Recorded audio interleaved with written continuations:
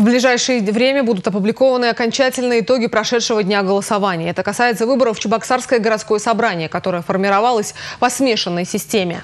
Считаю, что абсолютно и выборы главы объективные, вот.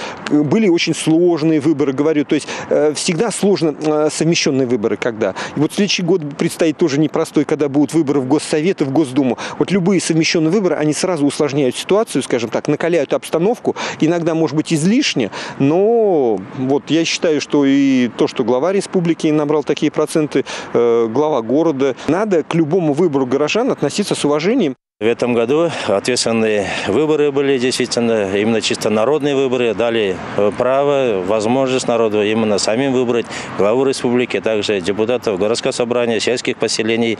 Я думаю, народ правильный выбор сделал.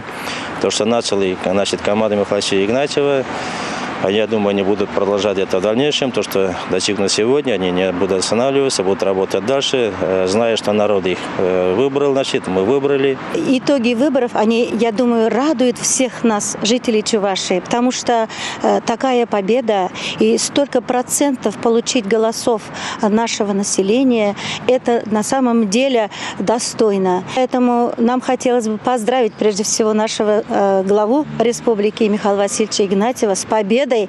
И, конечно, пожелать, чтобы и в дальнейшем ему удавались такие э, дела, которые бы радовали жителей нашей республики.